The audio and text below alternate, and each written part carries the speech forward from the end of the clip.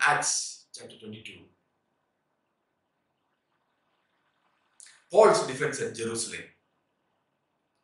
Brethren and fathers, hear my defense before you now. And when they heard that he spoke to them in the Hebrew language, they kept all the more silent. Then he said, I am indeed a Jew, born in Tarsus of, of Cilicia, but brought up in the city at the feet of Gamaliel, according to the strictness of our father's law, and was zealous towards God as you all are today.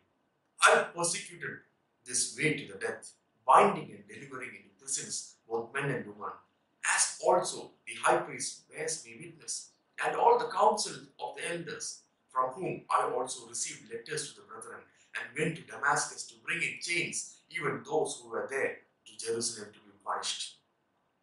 Now it happened, as I journeyed and came near Damascus at about noon, suddenly a great light from heaven shone around me, and I fell to the ground, and heard a voice saying to me, Saul, Saul, why are you persecuting me?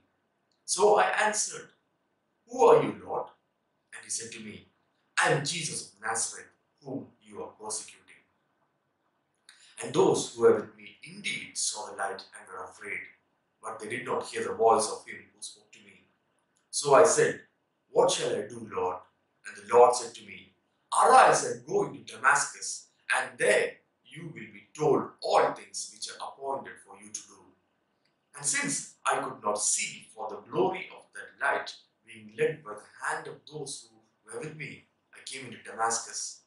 Then a certain uh, Ananias, a devout man according to the law, having a good testimony with all the Jews who dwelt there, came to me. And he stood and said to me, Brother Saul, receive your sight. And at that same hour, I looked up at him. Then he said, The God of our fathers has chosen you that you should know his will, and see the just one, and hear the voice of his mouth.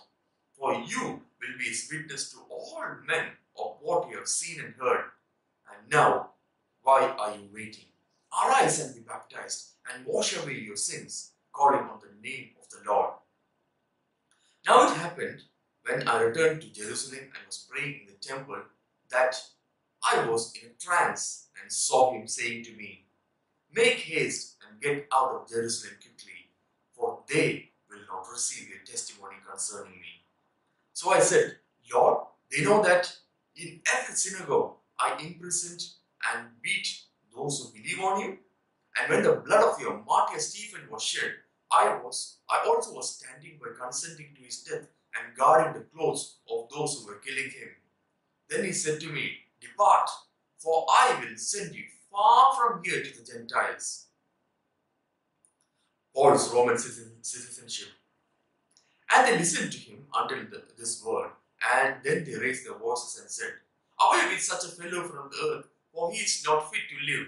Then, as they cried out and tore off their clothes and threw dust into the air, the commander ordered him to be brought into the barracks and said that he should be examined under scourging, so that he might know why they shouted so against him. And as they bound him with thongs, Paul said to the centurion who stood by, Is it lawful for you to scourge a man who is a Roman and uncondemned? Then the centurion heard that. He went and told the commander, saying, Take care of what you do, this man is a Roman. Then the commander came and said to him, Tell me, are you a Roman? He said, Yes. The commander answered, With a large sum I obtained this citizenship. And Paul said, But I was born a citizenship, citizen. Then immediately those who were about to examine him withdrew from him. And the commander was also afraid after he found out that he was uh, Roman and because he had bound him. The Sanhedrin divided. The next day, because he wanted to know for certain why he was accursed, accused by the Jews, he released from uh, released him from his bonds and commanded the chief priest and all the council to appear and brought Paul down and set him before them.